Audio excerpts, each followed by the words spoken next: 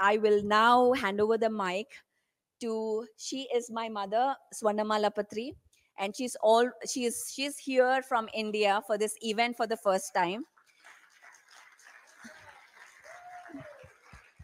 and uh, she has been she has seen this movement grow from zero um, to millions of people now become have become masters and lead the world uh, she has seen the worst and the highs and i would love for her to share her message Thank you. Good evening, everybody. It's so happy to see everybody here, meditators, getting together. It's the dream of Patriji that USA, in USA, Dhyana Mahachakram should happen. So today I'm seeing I'm very glad, happy people coming together and conducting this summit.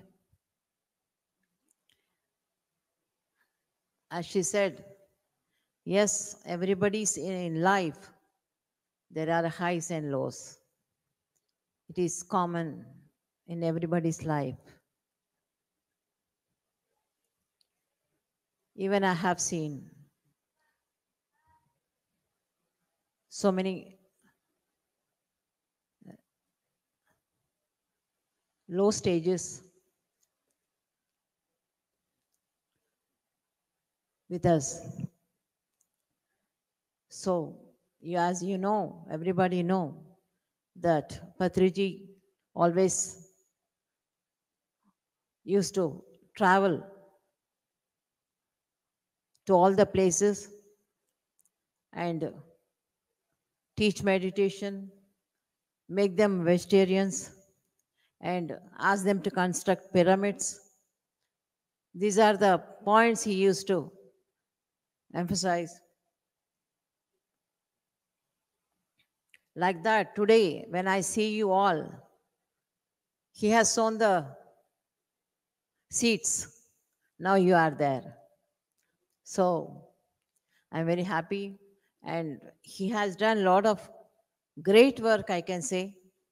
Tremendous great work without getting tired. Always used to travel.